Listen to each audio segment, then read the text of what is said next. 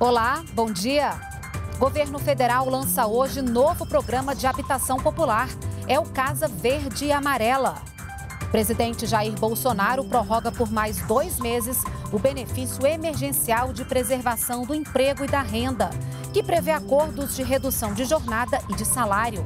Serão cerca de 10 milhões de postos de trabalho mantidos. Hoje é terça-feira, 25 de agosto de 2020. O Brasil em Dia começa agora.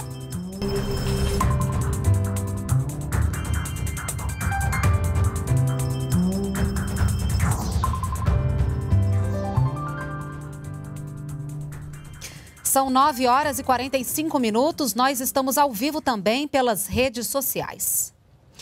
Um novo programa de habitação popular vai ser lançado hoje pelo governo federal. É a Casa Verde e Amarela. O evento será no Palácio do Planalto e nós vamos até lá agora ao vivo com a repórter Selma Dias. Oi, Selma, bom dia.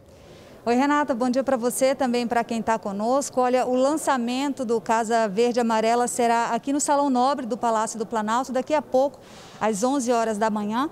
É um programa habitacional que pretende substituir o Minha Casa Minha Vida e que deve incluir pelo menos um milhão de novos beneficiários.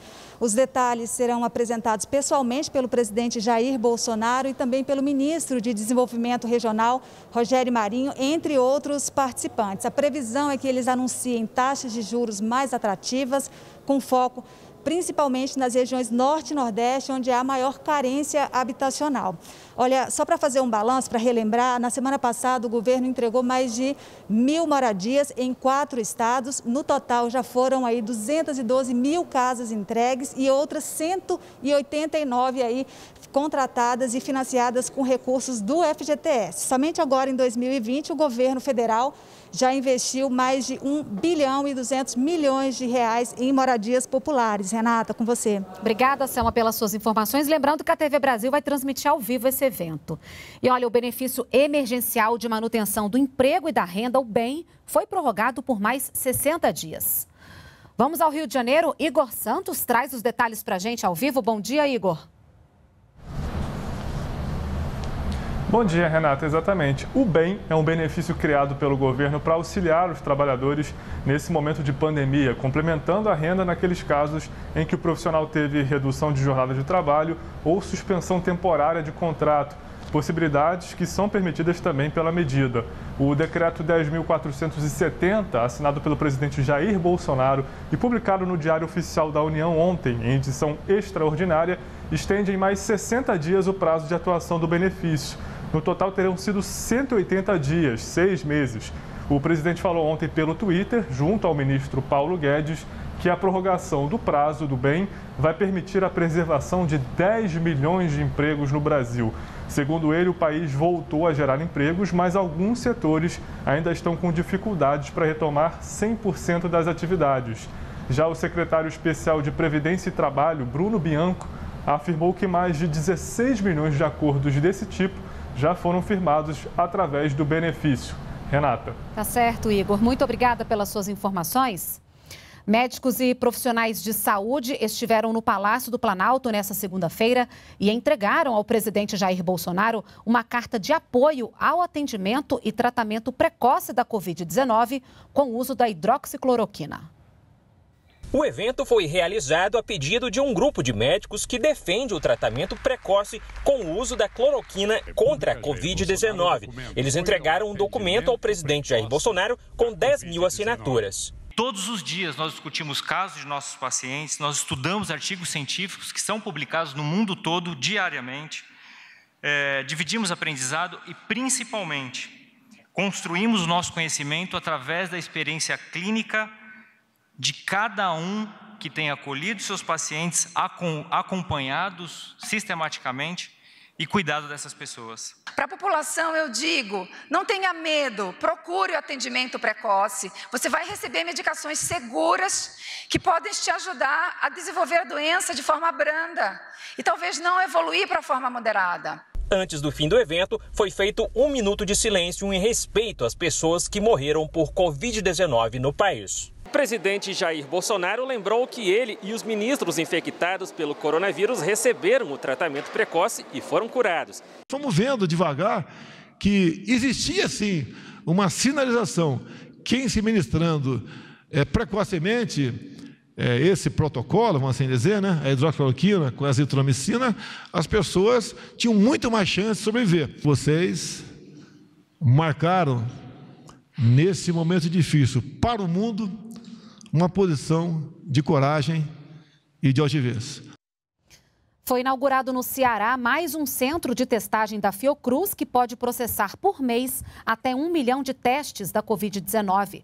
Os resultados ficam prontos em 48 horas. A nova unidade é a quarta do país, junto com São Paulo, Rio de Janeiro e Paraná.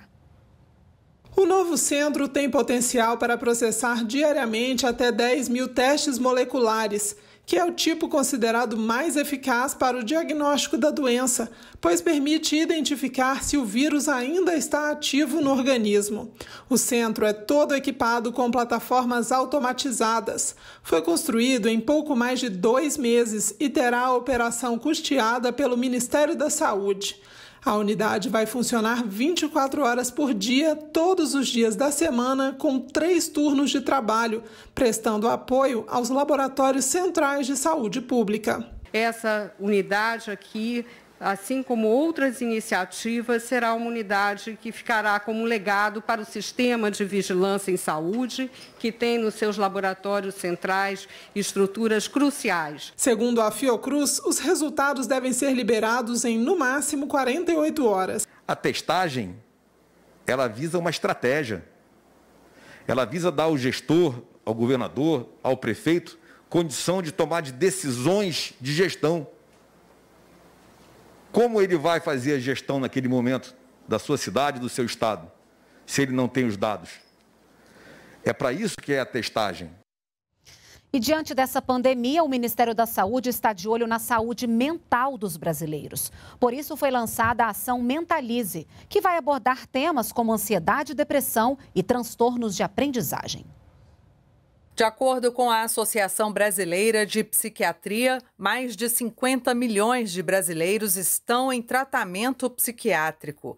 E para cuidar da saúde mental dos brasileiros, voluntários da área vão prestar esclarecimentos à população via internet por três dias. Nós temos, a semelhança do que acontece no mundo inteiro, inúmeros agravos à saúde mental que agora poderão ser prevenidos, orientados com a ajuda do Ministério da Saúde. Os interessados poderão acompanhar as lives pelo canal do Ministério da Saúde no YouTube às 7 da noite. No dia 25 de agosto, o foco serão as crianças e adolescentes, abordando temas como déficit de atenção, hiperatividade, uso de drogas ilícitas e lícitas.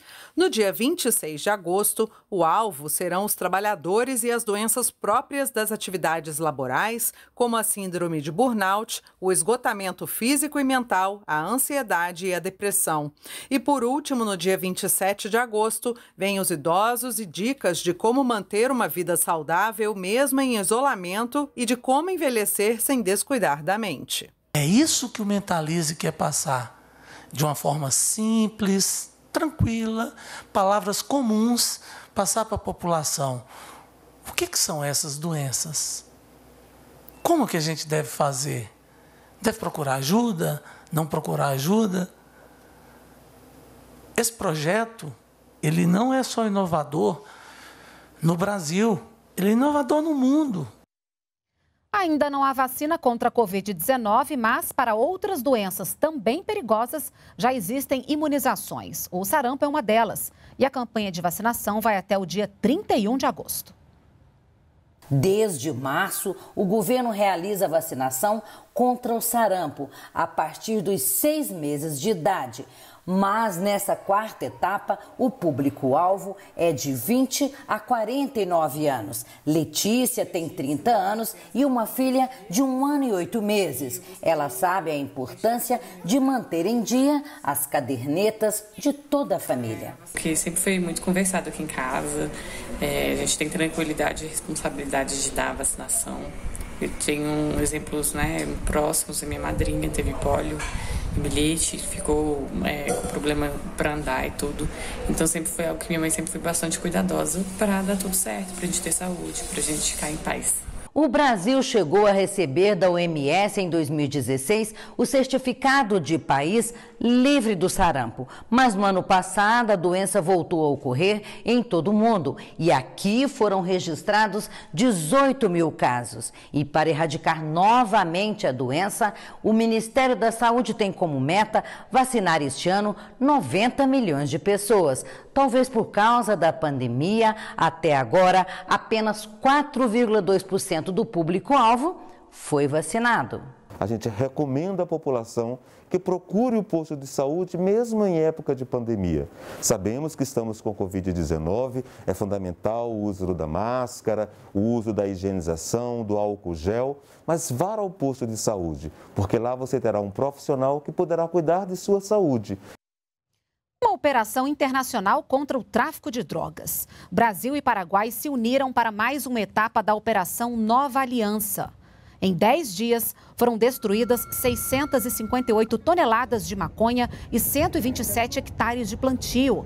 O ministro da Justiça e Segurança Pública, André Mendonça, acompanhou de perto os trabalhos das forças de segurança para combater cultivos ilícitos de maconha em território paraguaio.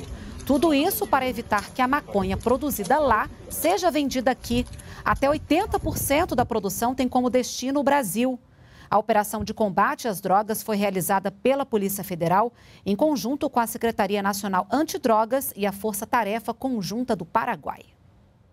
Os resultados é, é, a partir dessa atuação é, nos trazem não só economia de tempo, de esforço, mas também é, um aumento significativo do quantitativo de maconha é, é, que deixa de ingressar no mercado ilícito, seja no Brasil, seja passando pelo Brasil.